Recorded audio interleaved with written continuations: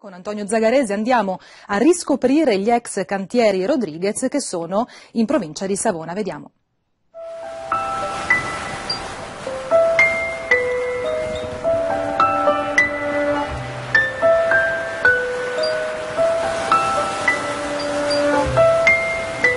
È un insediamento ingombrante no? per, per, il paese, quindi eh, io sono cresciuto con, questo, con questa struttura, con questa, eh, con questa industria e, e, mi ha sempre affascinato.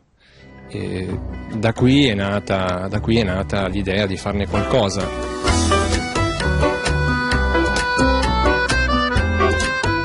Qualcosa è un film documentario tra gli scheletri degli ex cantieri navali Rodriguez, 46.000 metri quadri adagiati sul litorale di Pietraligure, nel Savonese, l'incontro del pietrese di adozione Massimo Ciricillo con l'artista e fotografo torinese Max Tomasinelli. Siamo partiti con un'idea più semplice, quella di, di fare un documentario classico per, per il paese e per conservarne la memoria, perché fra poco qua non ci sarà più niente o meglio ci sarà qualcosa di nuovo che non avrà niente a che fare con, eh, con i cento anni di storia. L'approccio è stato assolutamente quello di incontrare le persone che avessero a qualche, a qualche titolo lavorato dentro il cantiere.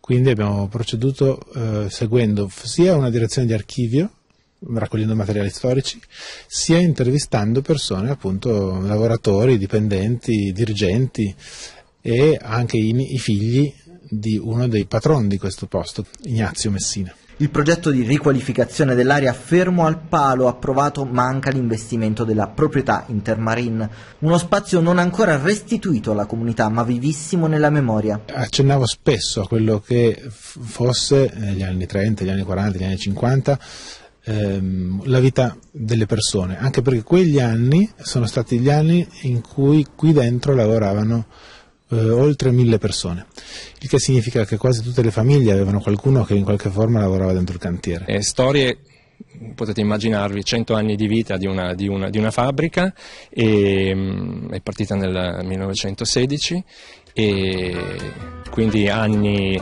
eh, anni incredibili dove, eh, dove, gli uomini erano del, dei super uomini per, per, per, per, quello che facevano perché non c'era la tecnologia di adesso, quindi da lì siamo partiti e, e veramente è stato un, un, uno scoprire episodi sempre, sempre più interessanti. Lavoratori, uomini, tutti licenziati o in cassa integrazione dal 2007, anche la loro storia rivivrà nel film Fuori Onda. Un protagonista, la voce alla radio di Maurizio Di Maggio, racconta questa storia. Abbiamo poi deciso una porzione di fiction, quindi ci siamo inventati un personaggio che ci condurrà dentro il film e sarà il nostro filo conduttore, sarà l'escamotage per tirare fuori il materiale storico che abbiamo raccolto. Qui Radio Camed 358 giorno. Prodotto dall'Associazione Culturale ILM e dall'Assessorato alla Cultura del Comune di Pietraligure, il team intorno al progetto è cresciuto, regista, sceneggiatore tecnici, la colonna sonora di Remo Anzovino, già risuonata nel Teatro Comunale Gremito per la presentazione del progetto,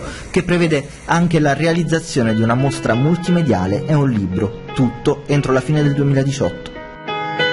Questo è un contenitore meraviglioso per come è ora già, è semplicemente abbandonato. È un'area dove succederà qualche cosa di cui ancora non sappiamo molto, ma certamente è un'occasione per riempire un vuoto gigantesco con qualche cosa che noi speriamo possa essere cultura o comunque qualche cosa che possa riportare la gente di Pietra a venire qua, a stare qua come condivisione, come eh, didattica, come eh, spazi per i bambini, qualsiasi cosa che possa ricordare in una forma attiva la grande memoria di condivisione che è stato il cantiere quando era attivo.